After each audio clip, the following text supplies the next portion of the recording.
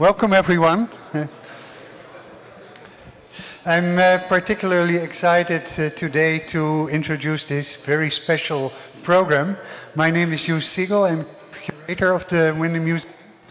And um, yeah, as you undoubtedly know, for a long time the Cold War has been presented in terms of this East-West conflict. But um, that would assume that the rest of the world either was somehow part of the East or the West, or didn't really matter in history, in politics. So around uh, 25 years ago, historians started to realize that life is more complex and more layered than that.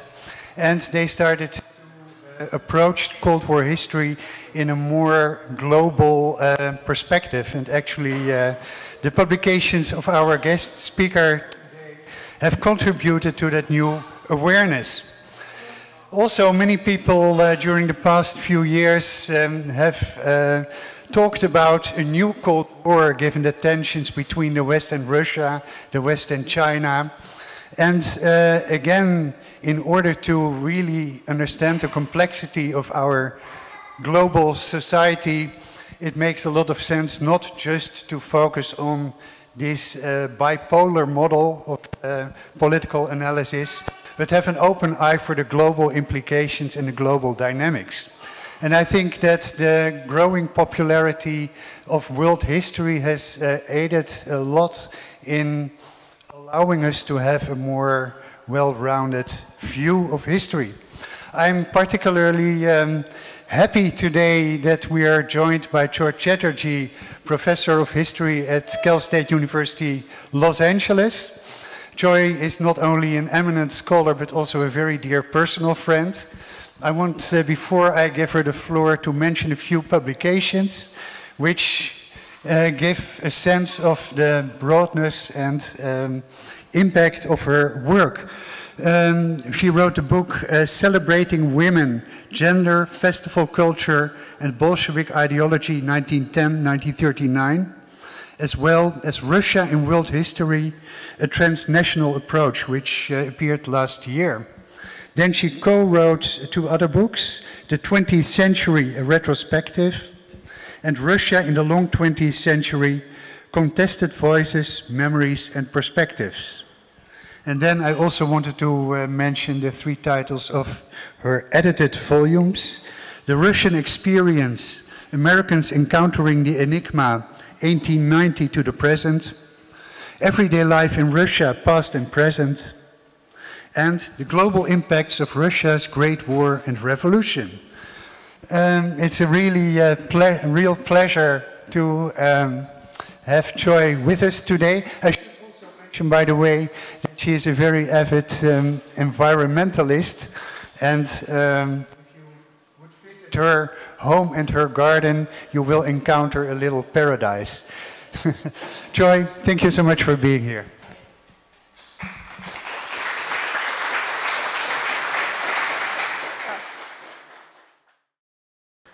Thank you, Joes, for overly kind introduction, and thank you for being here on this cold and rainy September afternoon in Los Angeles. I have not been here since 1994. I don't remember hurricanes and rain in September, so this is nice. Thank you for coming. I want to acknowledge my former graduate student, Miguel Arriola, who is legally blind. And without his help, I would not have understood the military dimensions of the war. So Miguel sends me texts every day, voice recorded, and I am able to follow the war because of him. So I really, really want to thank him. He has a, a Substack page coming up, and so if you all want to follow him, um, it is quite remarkable. So uh, this research project started last January. Um, I'm a historian. I rarely talk about contemporary events because that's not my specialty. But uh, in February, when Russia invaded Ukraine, um, it seemed that the whole world was united against this blatant uh, act. 190,000 troops were massed on the border for a while, and I was among the many who said, they'll never invade, you know, they're just bluffing.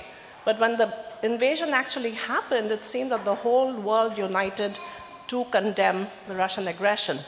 So my husband and I were traveling to India and Pakistan in February, the, the week after the invasion. And we were on a Middle Eastern flight, and we, and we were wondering where the plane would go over because the Russian airspace was closed. The first thing we realized was uh, Emirates was allowed to fly over Russian airspace, which I thought, we thought was very odd. We let it go. So we landed in Calcutta, a very lefty city in, in India, and of course all my friends journalists, professors, nobody condemned the Russian aggression on Ukraine. In fact, everybody said America started this war and it became an anti American rant. So my husband and I were really surprised. We thought, you know, these are the old lefties, you know, they're so out of it. So then we went to Karachi, Pakistan, and every dinner we heard the same thing. Um, America started this war, um, and Pakistan should do what India is doing and buy discounted oil from Russia. Um, after these three experiences, uh, I turned to Omar and said, This is a research project. Why would the global south, which struggled for decades, centuries to free themselves from European colonialism, why would they take the side of a European imperial power against a post-colonial nation. The whole, none, none of it made any sense. So, it, so this talk is our answers, possible answers, to my own confusion. And I think part of the confusion was also because the Western media and the academic establishment, of which I've been a proud member since 1988, seemed to only present it as a Russia and the West conflict. And all these other discordant voices that were challenging the narrative never made it through to the publications. And it's only since this April we are suddenly beginning to hear voices from the global south. And Fiona Hill, if you all are interested, she gave a very good talk at the, uh, the Lamott uh, Memorial Lecture.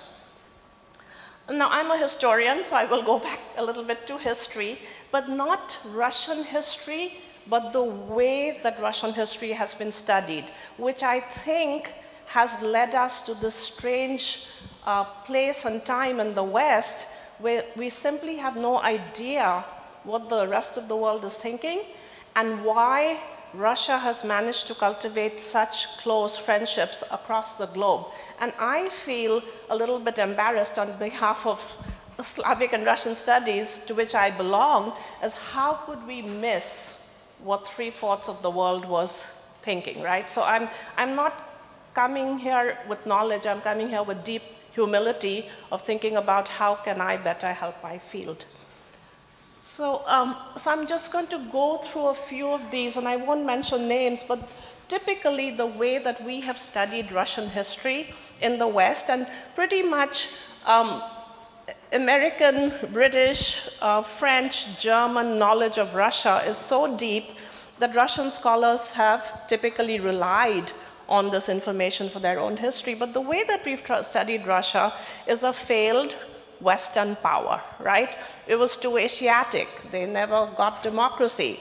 They had socialist modernity, not capitalist modernity, right? So it was like a pathological version of how the West sees itself, right? Democratic, capitalistic, human rights.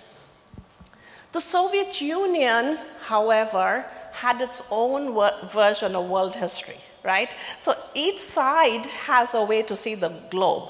And the Soviet version of world history was socialist modernity, right? State control of all industry, um, a very generous welfare state, the one-party system, and this is something that they tried to export throughout the Cold War, and that's what Joes was talking about, the reason why it was seen as a bipolar world till really the early 2000s, because countries had to take a side. I mean, most of the post-colonial nations were too poor to even dream of having their own foreign policy, And I know we had the non-alignment movement, but it was a bit of a joke um, because India, Egypt, Indonesia, all the people who signed the Bandung um, uh, conference, they were just too poor and irrelevant, and so willy-nilly they had to join a side.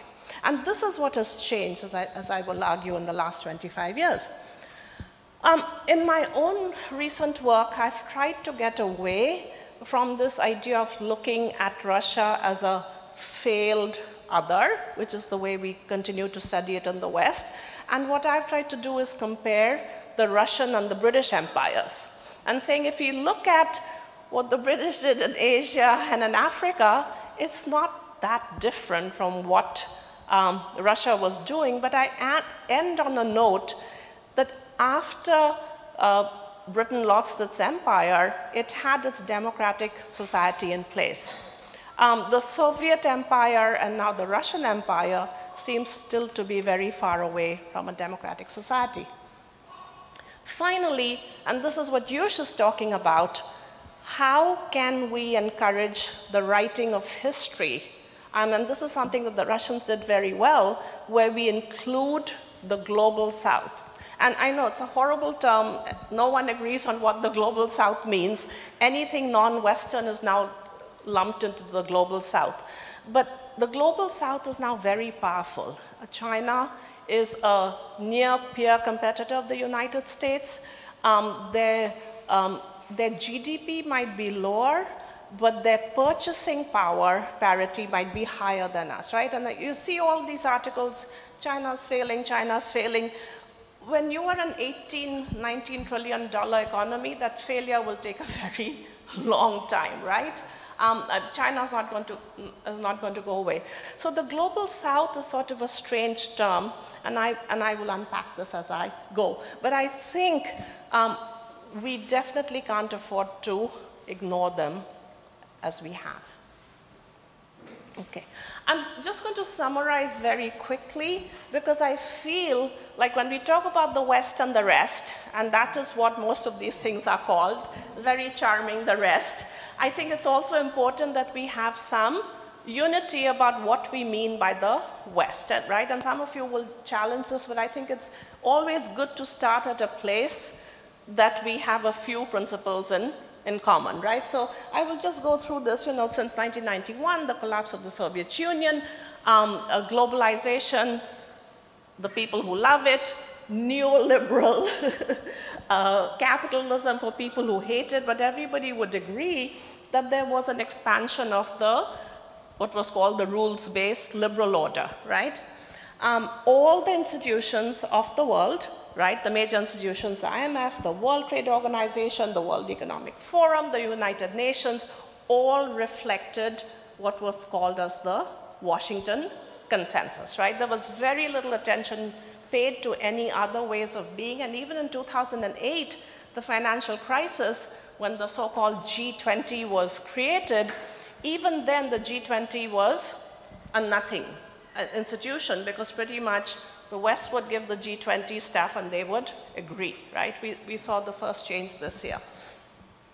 I have that this beautiful term, Chimerica, that Niall uh, Ferguson um, came up with because the whole belief was that China would be the our cheap factory system, right? So the West would benefit indefinitely from cheap Chinese manufacturing and that they were the reason for the incredible prosperity of the Western world for the last 20 years, uh, 20, 25 years.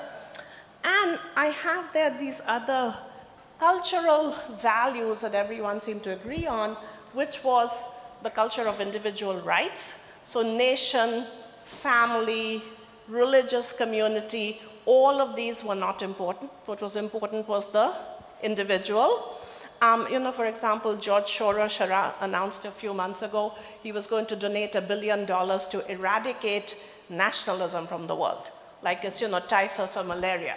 Um, now, when you say these things, it's fine, but for people who are listening to it, it's something else, right? So something is getting lost in translation of some of the stuff that's being said. And finally, the green energy transition, which I won't get into, but this, but this was very much part of the WEF consensus. Now, what we knew in February 22, and this is where I worry about my field. My field didn't predict the collapse of the Soviet Union. I was there in 1991, uh, literally as it was collapsing, and we had not a clue. I mean, the U United States had these legions of scholars, legions of spies, and none of us knew that it was going to collapse, so much so when it collapsed, um, the Bush government was trying desperately to prevent it from collapsing till they got the nuclear warheads some kind of accountability system. So I don't belong to a profession that has covered itself with glory. Um, I, the same thing happened in February 22, right? There was a handful of scholars uh, who were saying it's imminent, they're going to invade, they're going to invade. Most of us thought, no, Russia's bluffing, you know. They invaded Georgia, they invaded Crimea, um, but they're not going to invade Ukraine, right? So this is what we thought in February of last year. One, Russia is isolated and poor, right? Secondly, Putin is this terrible tyrant. No, but he has no social support at all. Nobody cares less for him. His whole reign is going to collapse like a house of cards. Um, and this is going to be the start of the new Soviet empire. Putin, of course, famously grew up in the Soviet Union. He was in Berlin. He's always lamented the collapse of Soviet, com not communism, of the Soviet empire. And many, many scholars said, oh, today they're going to take Ukraine, they're going to take Poland right after that. They already have their man in Belarus. There's nothing to prevent, and you know, Hungary their buddy, Austria's their buddy. They're going to walk into the Baltic states and the Cold War starts all over again. So two things we didn't know. One is how poorly the Russian army was going to perform. Um, and I won't get into what Putin was, you don't invade a country of 40 million with 190,000 troops, right? So what he was thinking, that's also up for questioning. But pretty much, I think uh, all the scholars in my field would agree to these points of view. And it seems like we were wrong. Okay. Um, what we continue to believe, right? Two years, a year and a half into the war, that, you know, the interests of the United States, EU, NATO, Ukraine are vitally intertwined, that this is a fight for democracy, and if we don't support Ukraine, then we will allow global democracy to collapse. This is a hybrid war, right? Um, all wars are hybrid wars, but we've never seen economic sanctions deployed on this scale. Because before we had economic sanctions on Iran or Venezuela. Well, the Venezuelan economy collapsed. Iranian economy is very, very sick. So we had a good record with our sanctions. Um, the sanctions on Russia haven't worked the way they're supposed to. And that brings into questions what are sanctions for? The technology bans the cyber attacks and the information campaigns, right? So this is also a social media war. And as I'm sure you've heard the joke, Ukraine is winning on Twitter, right? Or X. What, what is it called now? It's called X, right? So this is also very sophisticated social media war. Many analysts in the West have said this is a cheap war right? And many, many American senators, including Mitt Romney most recently, he said, well, not a single American is dying, as if Ukrainian lives don't count. But this is a very cheap war. We've spent 30, 40, 50, 60, 110. I've seen the estimates all the way, but that's not a lot of money given that our yearly budget for the Pentagon is $860 billion, right? So if you're spending less than 10% to degrade one of our biggest enemies, some would say this is a cheap war. Um, and finally, the most important thing is nobody's talking about is armies need to fight and weapons need to be tested on the battlefield. So this is not just a war of democracy and dictatorship. This is a war about latest missiles. I don't know how many of you saw the article on the hypersonic missiles. in the Wall Street Journal yesterday. If y'all haven't seen it, please read it. And this is where my student has been invaluable, telling me about, you know, how the tanks are performing, how the cruise missiles are performing, how the air defense systems are performing, drone technology is performing, and now this whole realm of warfare in hypersonic missiles, which it's so, it is very frightening. Anyway. So then this comes back to my research question is why have post-colonial nations it seemed to be a no-brainer. Why would they support Russia over Ukraine? And why are they pushing for an immediate end to a war instead of the collapse of Russia, regime change in Russia? That's the language that we've heard. And one of the first things that I realized is that deep ignorance of Russian history in the global south. So all they know, and here I'm generalizing broadly, is that during the Cold War, the Soviet Union helped many, many post-colonial nations against European colonizers. So they have very little understanding of the Russian imperialism from the 17th century onwards. And that's a big thing. And it's something I think in the West we take it for granted, but everybody knows about Russia's empire not everybody knows about Russia's empire. So that's point number one. Now, I wanted to go a little bit into my research methodology, right? So how did I do this research? And these were some of the, um, Russia, and Russia has deployed the most sophisticated messaging in the last 20, 25 years through these organizations. And this is one of the key reasons why they've been able to spread their idea of the multipolar world um, or multipolarity so effectively. And this is something that the Global South is responding to. So, you know, these are the places that I spent a lot of time on. Um, the Valdai Club, RT, RT.com, Russia Today, they have special editions for Brazil, for India, for South Africa, for China. Spent a little time looking at it. It is incredibly sophisticated, the kind of news that they are delivering to these countries, often news that these countries want to hear instead of, you know, the lectures the global south usually gets from the, from the west, right? And um, the other places, the, uh, the Gorchakov uh, Fund, very important, Russia beyond the uh, uh, headlines. And one thing that I haven't done research in because I just can't go there is Russian social media. Um, Telegram, and there are many other places, and I know there are people much better qualified than me who are doing research on that. What is Russia telling the global south? It seems like we don't know what Russia's telling the global south, and this is where my research comes in. So the predominant thing is Russia's telling the global south we are all victims of the West. And uh, Jie-Hyun Lim, who's uh, my very brilliant colleague at, at uh, Sogang University in Korea, he uses the term victim, um, victimhood nationalism, and he looks at Korea, you know, sees itself a victim of Japan, and Japan sees themselves a victim of the West. Russia has suddenly joined the globe. Russian imperial power has transformed itself into a victim of the West. The West is trying to destroy us, like it has destroyed many, many countries, and we are this huge fraternal alliance of victims, right? Um, but think of the sleight of hand of how you go from being an empire to being a victim, right? That's number one. The second thing, and this is very important to remember, when people keep saying it's the new Cold War, it's the new Cold War, it's not the new Cold War, at least not for Russia. And Jake Sullivan, Antony Blinken gave a very important speech two days ago.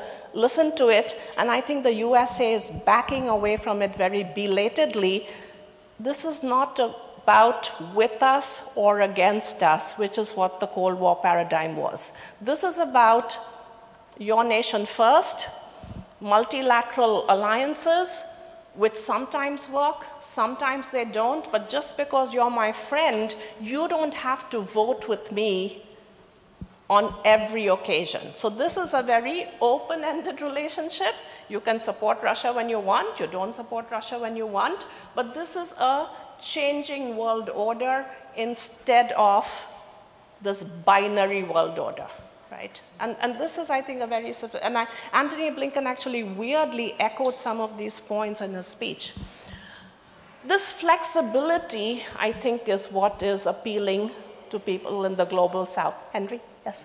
Oh, um, and I think this flexibility is what people want, right? I want to be able to, and I'm thinking of India. I can buy Russian oil at a discounted price, but I can also be part of the American Quad, right? Now, the global south has never had this kind of flexibility in a very, very long time. And we would be uh, smart to pay attention to this reimagining multilateralism. Any of you heard the YouTube videos by John Mearsheimer, the politi yeah, yeah, political scientist? You know, and he's been very against the war, and his theory is you never want to get into a war where you have two great powers arrayed against you. And even if Russia's not a great power, they're a minor great power. And his point is if we're going to fight China, we want Russia on our side. And with all due uh, reverence to Mearsheimer, who I really admire, I think he's missing the point again. It's not just about Russia, China, and America, and the Russians know that. And I think we are learning that belatedly, right? It is the middle powers, and when the middle powers aggregate, they can create a lot of, a lot of trouble. Okay. Um, and this is where the deep, deep relationships that Russia has inherited in the global south from the Soviet Union, their fight against decolonization. Um, this history, and I just can't go into it, but this history is being written as we speak, where so many countries from around the world thought socialist modernity was doable, and it led to catastrophic results from India to Tanzania, but hey, the memories die hard. Um, the last 25 years of interventions haven't really helped our case. Um, I mean, I'm thinking of Libya right now because of the disaster. Um, um, Syria, Iraq, the war on terror, Afghanistan. I don't think we have a very good and clean record in the last few years, and this is what Russian propaganda is constantly affirming, right? Look at the Western intervention. These are warmongers. They won't let the world live in peace. Everywhere they bring trouble. So this is something that they can point. to. and never mind the role that Russia played in Syria. Let's not get into that, but they have very effectively portrayed the West as a source of war and civil discord. Um, the last point, neoliberal globalization, which Russia has constantly critiqued, and many Western scholars have weirdly echoed Russian talking points. This is interesting because many countries in the global south have done very well because of neoliberal globalization. China's case number one, India's case number two. So many of these countries have benefited from the Washington consensus, from access to American markets, to technology transfers, to the reorientation of the economies from socialism, failed socialist policies towards capitalism. Of course, there have been terrible devastation through this globalization, but on the whole, I would say the world has benefited enormously. So when Russia pushes on this, this is where the global south pushes back, right? Nobody is willing to cut their ties with the West because that is the biggest ace in the hole. Okay. Now, this is perhaps the strongest suit in Russia's hand. And this propaganda, and I'm going to go through it a little bit, has been enormously successful around the world, so much so, you see the surge of the right in Europe, right? All the way from Sweden to Italy to Denmark to Austria to Hungary to France. A lot of this, and in the United States itself, right? these are Russian talking points a lot of people want to hear. And the one is the diversity of civilizations. Part of the Washington consensus was global consumer society, right? No religion, no nation, no local attachments. You are a digital nomad or you're an actual nomad and you consume, consume, consume, and we're all happy all the time, right? This message has not played well, right? And what we are seeing is across the world, people value religion, they value culture, they, there are traditional values, you know. Surprise, surprise. And this is where I think some of the more aggressive messaging from the West has fallen on not just deaf ears, but is being interpreted as cultural imperialism, right?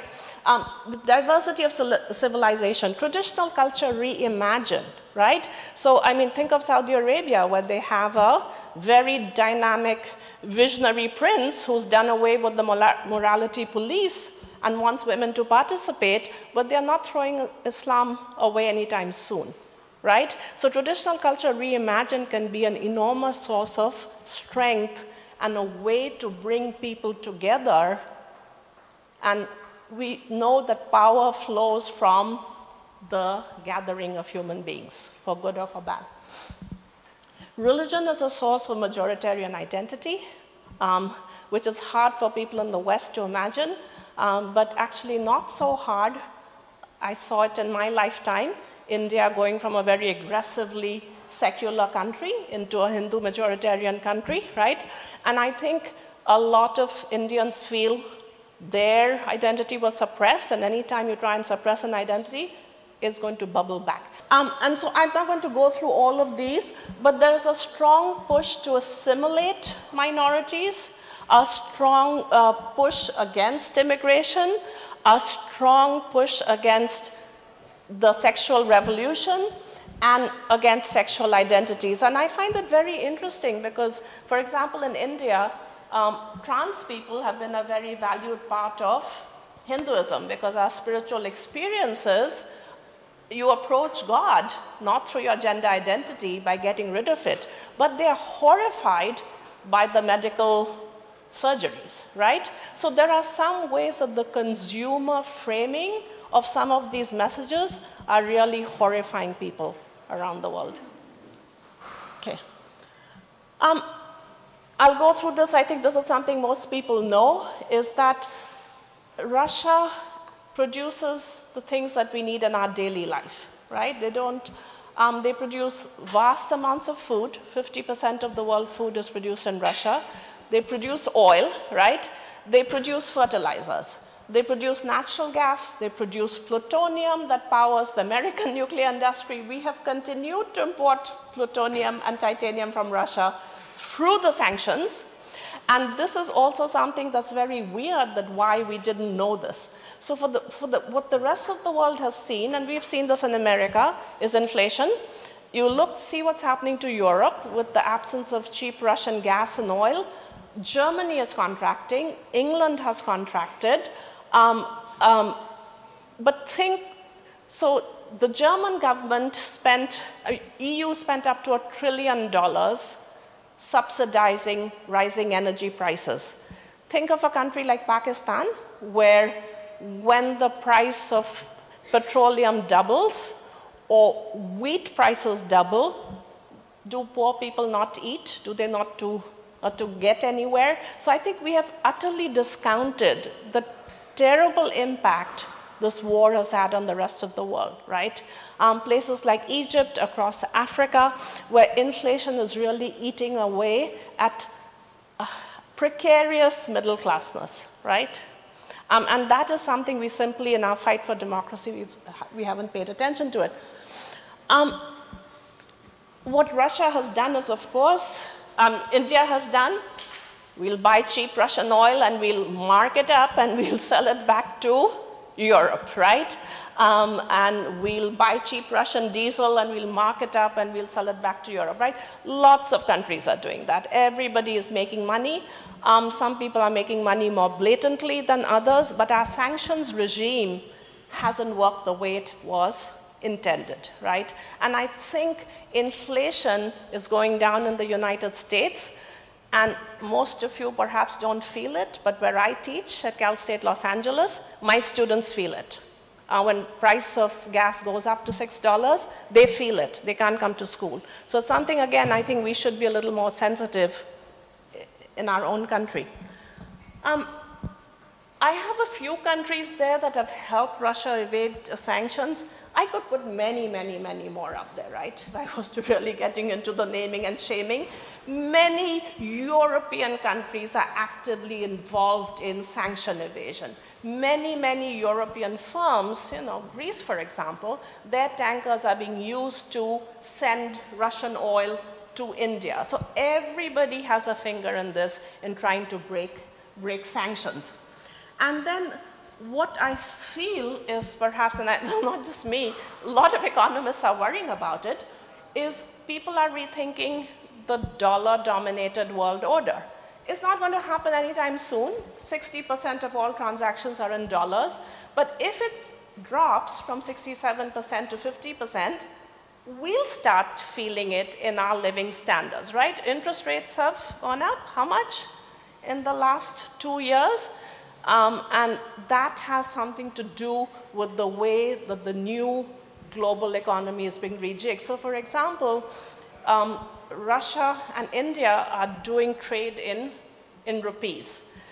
India is taking that oil, selling it to Bangladesh in their rupees. You see, so it has a cascading effect, right? China and UAE has replaced the dollar when China is buying oil from the UAE, they are buying it in renminbi. And China has been really pushing for the de-dollarization of the world economy very aggressively. They're also unloading American securities at a very fast rate.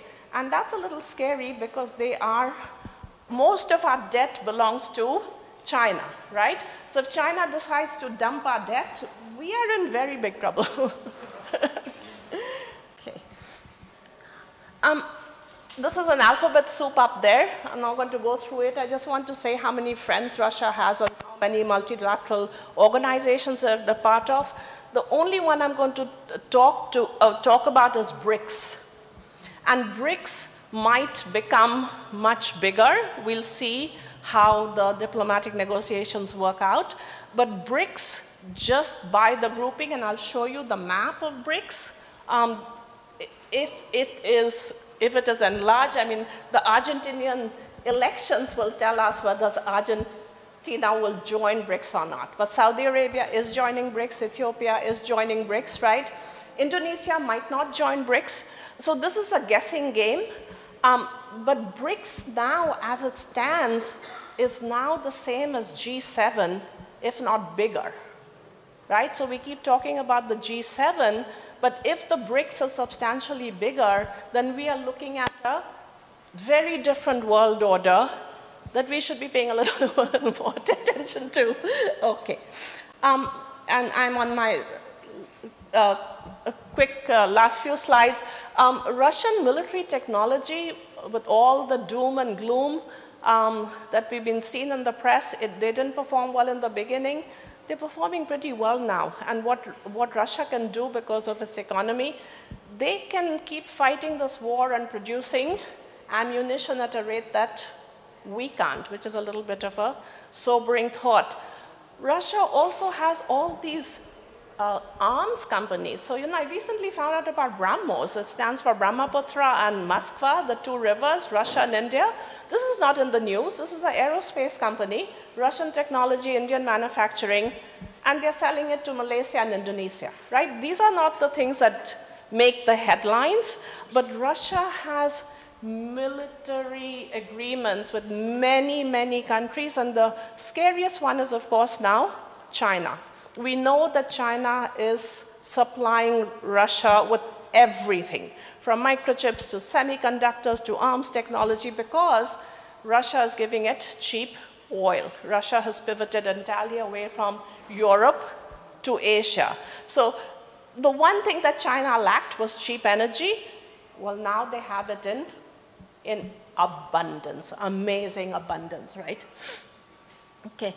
Um, and the last one, and again, this was little research I did, is many countries are now creating very small nuclear power plants because you know, they were very expensive and now they have much smaller nuclear reactors. And it seems that Russia is setting them up across the globe.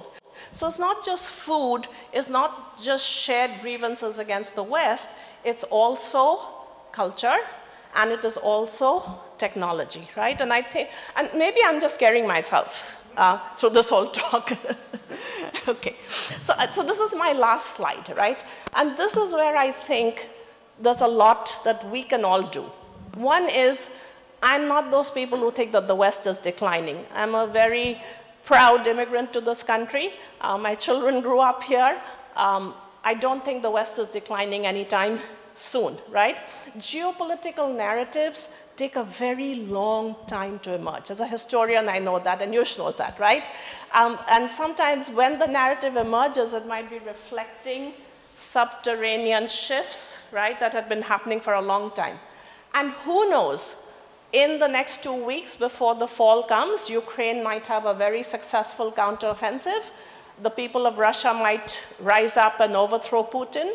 And maybe this whole talk will have been completely pointless and meaningless, right? and, I, and I am absolutely fine with that, right? So I'm, I am not making any grandiose predictions.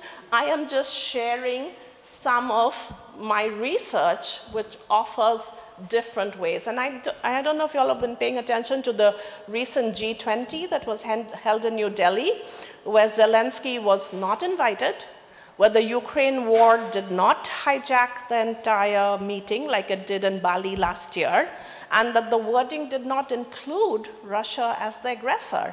And the only thing that the G20 declaration said, we want peace. We want the peace as soon as possible because countries are suffering from high oil and energy and food prices and global debt is becoming unbearable. So that was a huge shift. And the only reason that happened, I think, because the EU and, and uh, the United States allowed the statement in realization of this emerging world order. Okay. Um, and what is the what is my responsibility as a historian? And I'll tell you, I've been terribly Eurocentric my whole life. I was fascinated by Russia, fascinated by Russian American relations. And in my last book, I sort of address my own ignorance about Russia in world history. And what I would say to my field is we better get to know the rest, right? We better get to know the global south, and we better think of ways of incorporating them into the world history because I think this is where Russia is a little bit ahead of us, but they're very smart. We'll catch up. So that's it. Thank you very much.